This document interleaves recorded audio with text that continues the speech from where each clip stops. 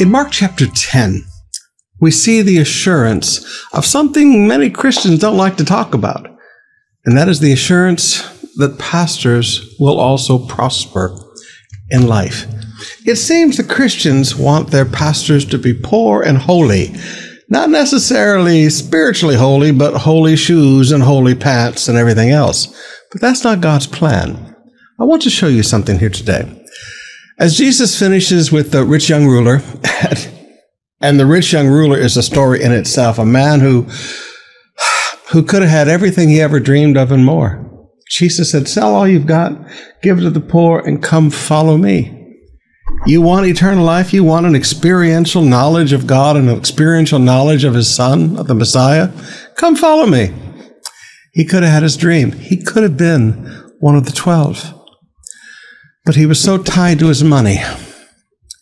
And the disciples follow up all of that by saying, Peter, verse 28, we've given up everything to follow you. And they had. They, they'd given up everything to follow him. But Jesus looks at him and says, Yes, you have given up everything to follow me. Jesus said, Yes, you have.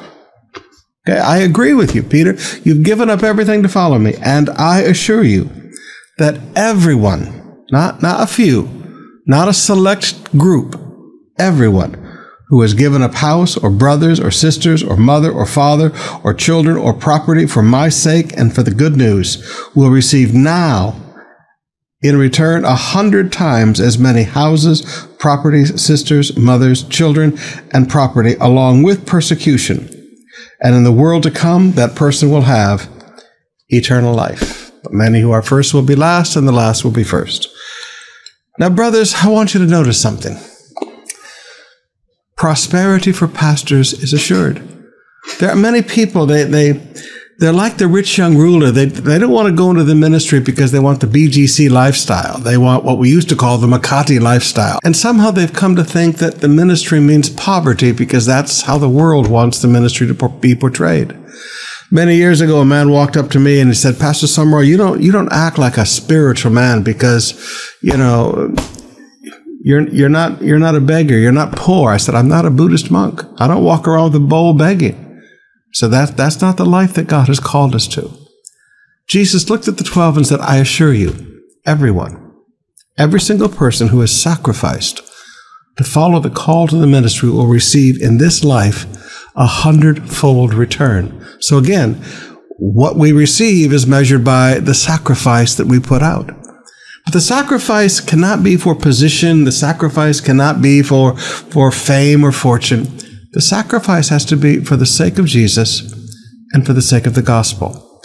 And when that sacrifice is made for the sake of Jesus and for the sake of the gospel, they reap a hundredfold return of what they have sowed. Now, I look at my life and I go, well, maybe I was one of these guys, the first shall be last and the last shall be first. Okay, maybe I'm one of these guys that gets it last because we went for so many years with nothing. But I, I live a very blessed life now, and I make no apologies of it.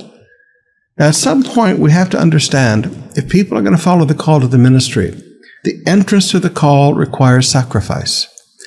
And you will sacrifice businesses. You will sacrifice financial fortunes. You will sacrifice inheritances. You will sacrifice land and properties. You will sacrifice.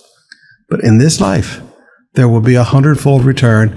And then verse 30 says, with persecution. Nobody persecutes a poor pastor, but oh, do they love to persecute a pastor who has received the hundredfold return.